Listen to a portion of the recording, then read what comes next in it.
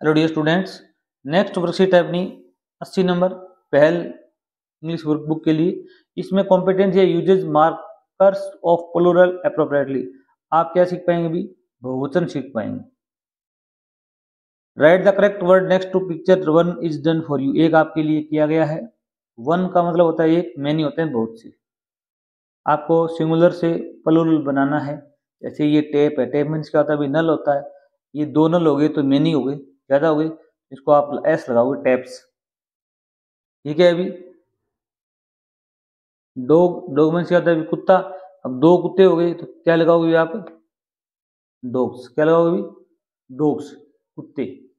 इस प्रकार आपको बनाना था। अब नेक्स्ट देखिए भी यहाँ पर क्या दिया हुआ है अभी? पंखा दिया हुआ है। Fan F N fan fan मानी पंखा। और ये क्या दो पंखे।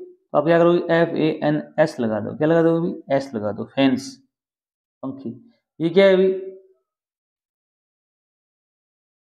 गर्ल गर्ल में क्या होती है अभी? लड़की। ये दो लड़कियाँ क्या लगाओ अभी? G I R L S लगाओ। गर्ल्स लड़कियाँ। ये क्या है अभी?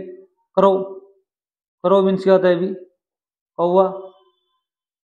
ये का ये दो हो गए तो क्या लगाओ अभी? C R O W S लगा दो। क्रोज कौवे क्या हो गया अभी? कौवे ये क्या है अभी? मेज मेज को अंग्रेज़ी में क्या कहते हैं अभी? Table T A B L E table. और ये कितने कितनी कितनी अभी? मैनी ज़्यादा हैं, दो हैं। तो क्या करोगे अभी?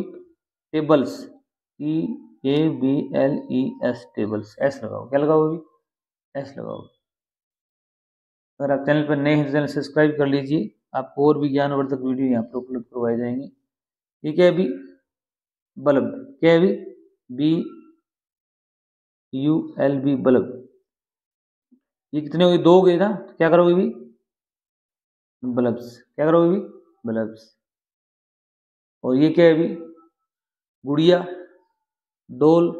डोल में क्या होती है गुड़िया, ये ज़्यादा गुड़िया हैं। क्या करोगे भी? डोल्स। क्या करोगे भी? डोल्स। नेक्स्ट वर्कशीट देखिए भी, एट्टी वन नंबर। यहाँ पर वर्कशीट 81 में देखो भी कॉम्पिटेंसी है identifies words details from a short text and paragraph यहाँ पर क्या है भी एक read the text given below यहाँ पर एक टेक्स्ट दिया गया है, इसको पढ़ना है अपने को। What is in my bag मेरी बैग में क्या है? मेरी बैग में क्या है? एक यहाँ पर बैग दिखाई गई है, बस्ता। विद्यालय का है, इसमें पेन है इराजर है बुक है पेंसिल है स्केल है बोटल है। आपकी बेबस्ते में इनमें से कुछ चीज़ें हो सकती हैं, कुछ ना हो, ये भी हो सकता है। देखते हैं, कुछ प्रश्न दिए गए हैं। क्वेश्चन है नेम एनी फोर थिंग्स आपको चार वस्तुओं के नाम बताने हैं that you have in your bag जो आपकी बैग में होते हैं। क्या क्या चीज़ें होती हैं आपके बैग में भी? एक आपकी बैग में बुक अवश्य होगी। बुक्स होती है ना? ठीक है। और क्या होती है भी? पेन अवश्य होगा। पेंसिल ज़रूर होगी आपकी बैग में। और पेंसिल को छीलने के लिए क्या होगी भी? आपके पास में इराजर भी होगा। क्या होगा भी? इराजर मिटाने वाला रबर क्या आवश्यकता पड़ेगी आपको? हो सकता है स्केल भी हो, और चीज़ें अपने को चार पूछे, अपने को चार ही बतानी क्या बतानी भी चार।